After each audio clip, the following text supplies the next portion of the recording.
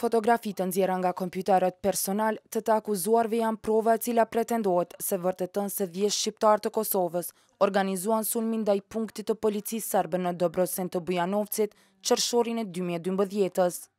Ngjarja e cila kishte shkaktuar reagime të shumta nga të dyja shtetet, ende nuk po mund të marrë një epilog përfundimtar nga gjyqësori i vendit. Lënda gjyqësore ndaj dhjetë të akuzuarve për këtë sulm e ngritur nga Prokuroria e Euleksit është kthyer në rigjykim në Gjykatën e Gjilanit.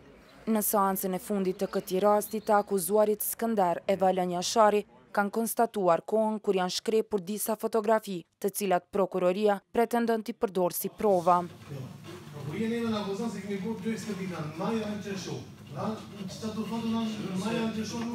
Prokurorja e rastit ka sqaruar se fotografitë janë të vërteta dhe të marra nga kompjuterët e të akuzuarve.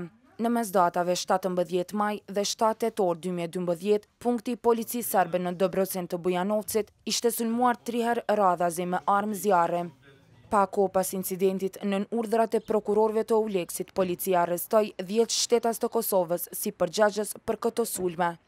Grupi i thirrur Lëvizja e Lirisë e i përbërë nga Valon Jashari, Skënder Jashari, Gazment Lakna, Gazment Xhemshiri, Qëndrim Rexhaj, Muhamed Aliu, Skënder Selmani, Enver Musolli, Abdullah Zogaj dhe Jeton Shabani akuzohen gjatë kësaj kohe kanë kryer akte terroriste në shtetin e Serbisë.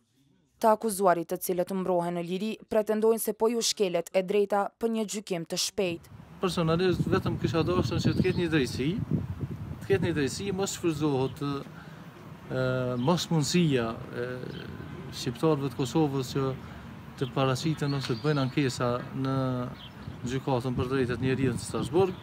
Dhe fort mirë këta të hujt e kanë blloku atë mundësi që ne mos të kemi drejt, për shkak se nuk jemi në Këshillin e Evropës dhe këta po luajnë, po luajnë me ndjenjat, me jetën dhe me punën tonë për çdo ditë. Gjykata Supreme përmes aktgjykimit të lëshuar më nëntëmbëdhjetë prill të vitit dy mijë e gjashtëmbëdhjetë e kishte kthyer rastin në rigjykim, derisa në vitin dy mijë e trembëdhjetë, kanë qenë të dënuar nga Gjykata Themelore në Gjilan me një total prej gjashtëdhjetë vjetësh burgim.